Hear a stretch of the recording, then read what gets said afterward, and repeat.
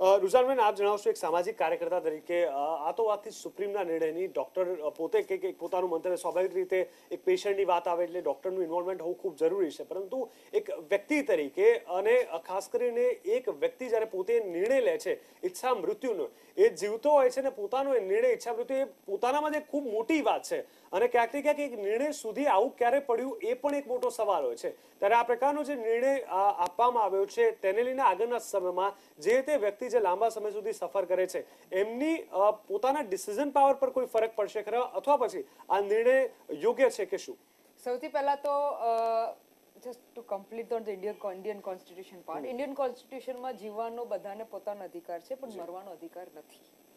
એટલે તમને બધાને યાદ હોય તો જે જૈન સાધુઓ કે એ લોકો પેલા જે જમે એને શું સનાથન કે કંઈ કહેવામાં આવે છે?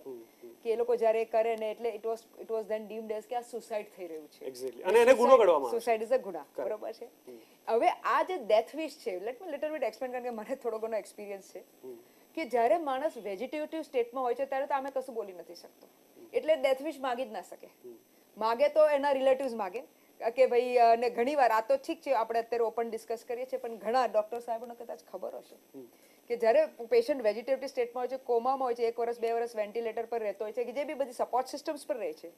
પછી છેલ્લે જ્યારે ડોક્ટર બી ઘણી એટલે ડોક્ટર કહે છે ને we have to respect that કે ભાઈ હવે આમાં કશું છે નહીં. એટલું ઉલટું ભલા માટે ડોક્ટર કહે છે. આપણે નોર્મલ નથી કહેતા ડોક્ટર તો પૈસા કમાવા છે ના પણ ઉલટું ભલા માટે કહે છે કે ભાઈ તમે આટલા ખર્ચા કરો છો કશું છે નહીં. પછી it is very difficult for the relative to take a decision કારણ કે રિલેટિવના મનમાં હંમેશા એક એક ગિલ્ટીનેસ આવે. રિલેટિવ કે જે બી એનો ફેમિલી હોય એને ગિલ્ટીનેસ આવે કે અગર હું કહીશ કે હા વેન્ટિલેટર કાઢી નાખો એટલે ઓબ્વિયસલી પેલો નો મોર થશે.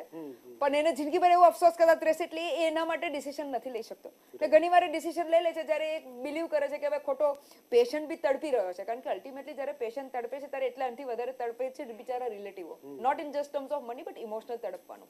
કારણ કે પેશન્ટ તો ઘણીવાર બેહોશ હોય છે પણ ઇમોશનલી ખેંચાઈ જાય છે રિલેટિવ એટલે અત્યારે જ્યારે આપણે ડેથ વિશની વાત કરીએ આ આ ફંડામેન્ટલ્સ પર બરોબર છે પરફેક્ટ છે. પણ જ્યારે ગાઈડલાઇન્સ હજી મારી મેં ગાઈડલાઇન્સ જોઈ નથી I don't think so guidelines release થઈ છે હજી એટલે થશે એવું જજે જજમેન્ટ આવ્યું છે કે ગાઈડલાઇન્સ રીલીઝ થશે. It is important to see કે ગાઈડલાઇન્સ શું આવી છે કારણ કે આનું ફ્લિપ સાઇડ કહેવા માંગુ છું જે તમે ક્યારના ડિસ્કસ કરવા માંગો છો. કે ભાઈ how can this be misuse okay આ બોર્ડ બેસે આ સાયકોલોજીસ્ટ બેસે આ તે બેસે બધું સાચી વાત છે ગુડ આપણે ઘણા મોટા કેસીસમાં સાંભળ્યું છે કે જે મોટા મોટા માણસો એક બે દિવસ પહેલા ગયા હોય પણ પછી બે દિવસ પછી બતાવ્યું હોય કે આ ગયા છે just for some commercial reasons or whatever reasons publicity reasons whatever એટલે coming back to the point કે જ્યારે ડેથવિશની વાત આપણે સ્પેસિફિકલી વાત કરીએ છીએ ત્યારે ડેથવિશ માગવાનો કોણ છે? હા હવે આમાં એક વાત કહું કે જેને કે લેટર છે કે હું તડપી રહી છું રાઈટ એટલે હું chronic illness what he is using the word chronic illness perfect word છે. કે જ્યારે મને ક્રોનિક ઇલનેસ છે ને હું પોતે કંટાળી ગઈ છું મારી લાઈફથી હું જોઈ રહી છું કે મારા આસપાસ વાળાઓના પૈસા ખર્ચાઈ જાય છે એ લોકો એ છે ને મારી બુદ્ધિ ચાલી રહી છે. બુદ્ધિ ચાલી રહી છે કારણ કે મને ખબર પડી રહી છે એટલું હું ડેથ વિશ માંગુ છું. હવે આવા કેટલા કેસીસ મારી પાસે છે નહીં મને ખબર નથી. પણ ઓકે ત્યારે એ ગાઈડલાઈન પ્રમાણે શું થાય? કારણ કે ઘણીવાર એવું થાય છે કે આપણે વચ્ચે સોરી બટ મારે એક ચીજ કેવી છે? બહુ ખરાબ ચીજ છે પણ કેવી પડશે? કે વચ્ચે એક બિચારા બીમાર બા છે.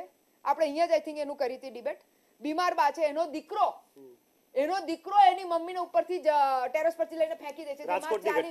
માં ચાલી બી નથી શકતી. એટલે આ બી મેં જોયું છે. એટલે મારે બી કે લાગી રહી છે કે જે જે માં બોલી નહીં શકતી હશે આ દીકરો કંઈક આડું અવળું લખીને આવું કરશે. એટલે એ sign બાય લઈ લેવામાં આવે. હા, એક્સેપ્ટ કરું છું. એટલે there are pros and cons everything has pros and cons but I am sure કે જ્યારે જે ગાઈડલાઈન બનશે એમાં આવા લૂપોલ્સ ના હોય.